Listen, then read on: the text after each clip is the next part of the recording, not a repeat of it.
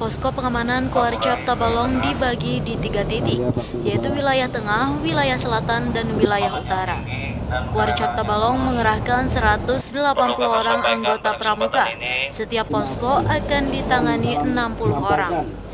Menurut Ketua Umum Kuarcap Tabalong, Haji Sony Alfianor, anggota pramuka akan bertugas membantu mengatur lalu lintas, memantau arus mudik, serta memberikan pelayanan bagi pemudik yang lelah agar bisa beristirahat di posko tersebut.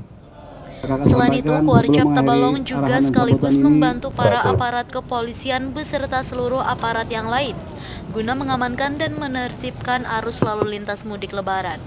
Kabupaten Tabalong uh, membentuk posko siaga lebaran untuk wilayah tengah dipusatkan di posko Maburai namanya wilayah utara posko Wirang kemudian selatan posko Kelwa nah, di mana adik-adik ini bertugas tentunya membantu masyarakat dan uh, ya kepolisian lalu lintas mungkin terutama dalam uh, apa namanya membantu masyarakat dalam memperlancar arus mudik lebaran dan arus balik lebaran.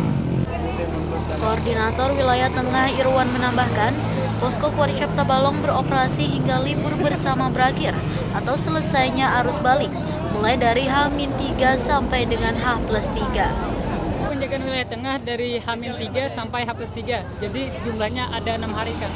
enam hari Iya, mungkin apa nih yang dikondisikan untuk nantinya nih dikondisikan cuma mengkoordinir, mengkoordinir anggota untuk wilayah tengah Kak untuk lebih berpartisipasi pengamanan arus mudik lebaran tahun 2018. Selain itu, pihak Kuarcap Tabalong akan siaga mulai pagi sampai menjelang malam hari.